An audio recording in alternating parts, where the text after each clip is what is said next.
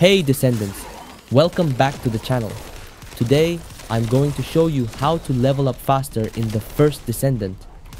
If you're looking to boost your progress and rank up your mastery rank efficiently, then you've come to the right place.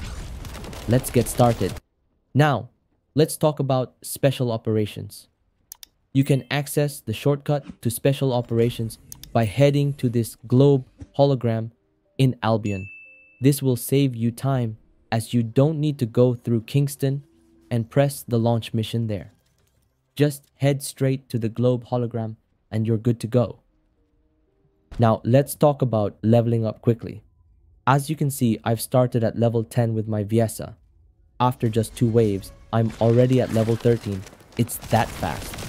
After completing the first set of waves, which is wave 7, I gained a total of 7 levels. That's a huge boost in a short amount of time. And if you're willing to stay further until wave 10, you can gain approximately 11 levels in just one run. This method is incredibly effective for leveling up quickly. Here's another example. Take a look at these two players. Here they're both level 5.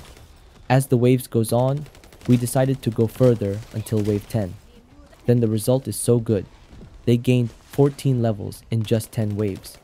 This special operation in Kingston is the sweet spot when leveling your new descendant. Take note that when you level up a new descendants and weapons, you will also gain an X on your mastery rank. So doing this method will effectively boost your mastery rank progression. So there you have it descendants. If you found this video helpful, please like, share, and subscribe. You can support me as a content creator for the first descendant by using my creator code. Until next time, keep on grinding, descendants.